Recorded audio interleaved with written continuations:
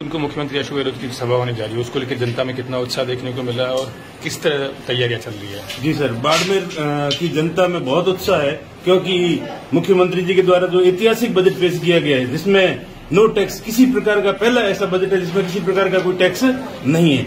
और उसके उपरांत जितने भी घोषणाएँ की गई है, सारी धरातल पे लागू कर दी गई है।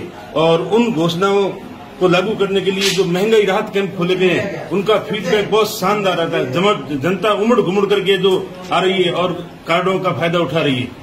और जनता भी चाहती है कि मेवाराम जी के द्वारा, मेवाराम जी के ऊपर जो मुख्यमंत्री जी ने विश्वास किया है, उसका फीडबैक जनता यहाँ अपने जन सैलाब के द्वारा उमड़ करके स्टेडियम में जो देगी।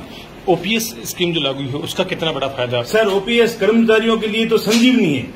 कर्मचारियों को बर्बाद कर दिया गया था और राजस्थान के यशस्वी मुख्यमंत्री ने अपनी पहल करके एक ऐसा उदाहरण पेश किया है पूरे भारत के लिए। और जगह जगह इसकी जो मांग हो रही है कि ओपीएस लागू करो ओपीएस लागू करो कर्मचारी के लिए अपने आप एक संजीवनी है।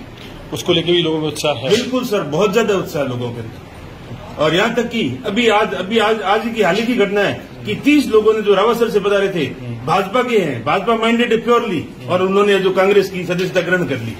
इतना लोगों के अंदर उत्साह है। तो क्या लगता है कितनी भीड़ उमड़ेगी सर कम से कम एट्टी थाउज़ेंड पार। बहुत ही ज़्यादा बाड़मेर में विधानसभा क्षेत्र में लोगों में ये उत्साह है बहुत ज़्यादा उत्साह मुख्यमंत्री जी की। दो जून को आदर्श सभा है ग्यारह बजे उसको लेकर बहुत ही ज़्यादा उत्साह है। जगह जगह हमारे कांग्रेस कार्यकर्ता मीटिंगें कर रहे हैं आदरणीय विधायक जी को बुला रहे हैं और बहुत ही ज़्यादा स्वागत कर रहे हैं आदरणीय विधायक जी का और अशोक जी गहलोत की सभा के लिए उनके स्वागत के लिए बाड़मेर की जनता आतुर है।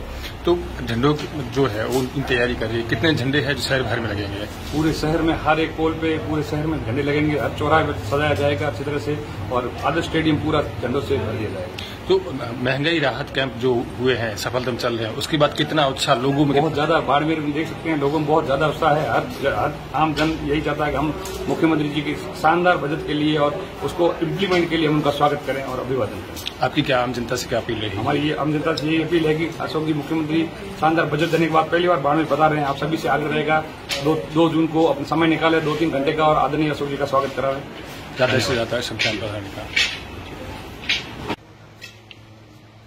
be.